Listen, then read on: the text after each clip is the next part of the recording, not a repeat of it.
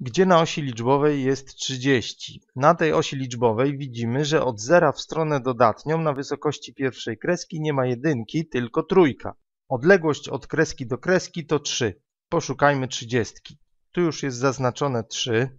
Tu będzie o 3 więcej, czyli 6, 9, 12, 15, 18, 21, 24, 27, 30.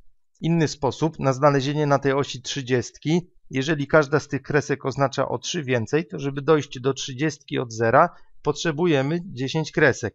30 podzielone przez 3 równa się 10. No to policzmy 10 kresek.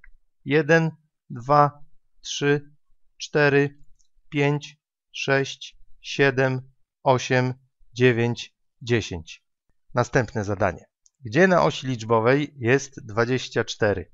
Tak samo jak poprzednio, każda z kresek oznacza o 3 więcej, czyli 3, 6, 9, 12, 15, 18, 21, 24. I jeszcze jedno. Teraz każdy zaznaczony na osi odcinek to 4. Dodajemy co 4.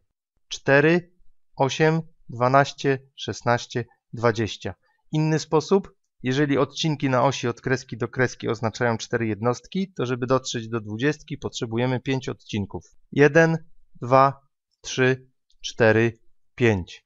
Tak czy inaczej wychodzi 20.